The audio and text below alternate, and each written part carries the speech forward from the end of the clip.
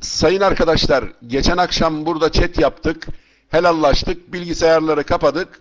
Şimdi bilgisayarı kapadıktan sonra ben sizden sonra tuvalete gittim. Söyleme sayıptır. Şimdi tuvalete gidince ben genelde bir iki sigara içerim. Bir de oradaki araba dergileri var böyle benim tuvaletin sol tarafında. Onlara da bakarım öyle yani. Tuvalette de boş durmuyoruz. Aklımızı yemişiz amına koyayım. Bir baktım yalan söyleyen sabaha çıkmasın bak. Yalan söyleyen dünyanın en haysiyetsiz adamıdır. Sersebil dayı filme bak filme. Bir baktım bizim aranın ışığı yandı. Gecenin üç, üç buçuk falan böyle bu saatlerde Allah Allah dedim vay amına kodumun ibneleri. Kim bilir sikişmekten mi geliyorlar. Üst katta birkaç tane öğrenci var. Ben de korktum.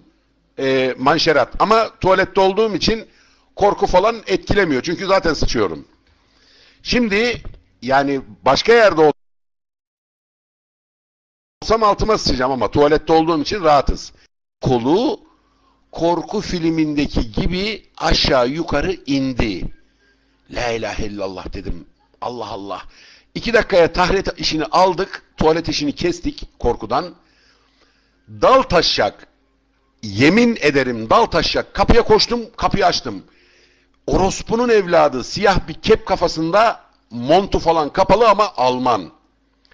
Ne yapıyorsun lan dedim. Şongut şongut dedi. Biyum! İbnenin oğlu büyük kapıdan dışarı. Büyük kapıdan bir baktım orospunun evladı 150 metre fark atmış. Dayı yakalamam imkansız zaten dışarı çıkamam. Dal taşak gaza geldim böyle amına kodumun evladı. Kur'an peygamber hakkı için kapıyı yokluyor dayı. Yahu tuvaletteyiz kardeşim ne silahı silah ta anasının amında kim gidip onu alıp gelecek. İbnenin olur beni dal taşak gördü dayı. Sen şimdi o adama de ki o binada 24 ayar altın 5 kilo var git al. Yaklaşırsa şerefsizim. Benim takımı taklavatı gören ilk defa bir erkek oldu. Komple gösterdim ona her şeyi. Dayı şimdi o saatte senin kapını kim zorlar? Allah Kur'an peygamber namussuzun oğlu ya. Demek eve gelecekti iyi mi? Hani aleykümselam Fatih'cim. Genel selam verelim bütün odadaki arkadaşlar.